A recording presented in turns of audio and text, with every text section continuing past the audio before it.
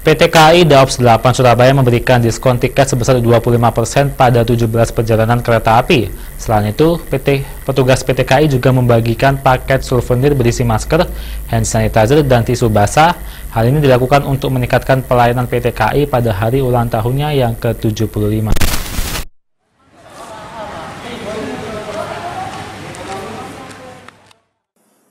Sebagai wujud terima kasih kepada pelanggannya, dalam rangka HUT ke-75 pada 28 September, PT KAI Daup 8 Surabaya memberikan diskon khusus sebesar 25%. Promo ini berlaku untuk 17 perjalanan kereta api keberangkatan pada tanggal 28 September 2020. Tiket promo ini jumlahnya terbatas, sehingga masyarakat dapat segera memesan tiket melalui aplikasi online dan seluruh channel resmi penjualan tiket KAI.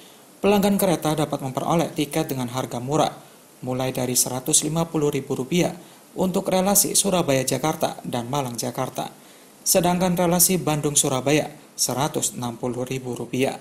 Selain memberikan diskon khusus 25%, PT KAI Daup 8 Surabaya juga memberikan souvenir berisi masker, hand sanitizer, dan tisu basah kepada para penumpang kereta api. PT KAI berharap minat masyarakat akan layanan kereta api semakin meningkat. Ya, dalam rangka menyambut ulang tahun kereta api ke-75, kita dari pihak PT KAI 8 Surabaya memberikan diskon khusus kepada para pengguna jasa layanan untuk 17 perjalanan kereta api yang ada di wilayah PT KAI 28 Surabaya. Diskon khusus ini yaitu sebesar 25%.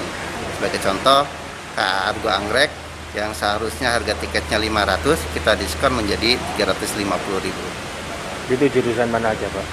Untuk jurusannya berbagai macam, yaitu baik itu yang dari arah Surabaya menuju Jakarta, Surabaya menuju ke arah Bandung maupun Surabaya menuju ke arah Semarang. Itu untuk pulang pergi ya, Pak ya? Ya, pulang pergi.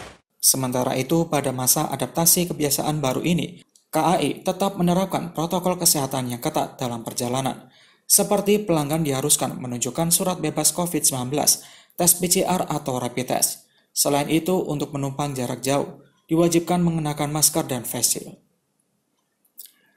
Studi Setia, Surabaya TV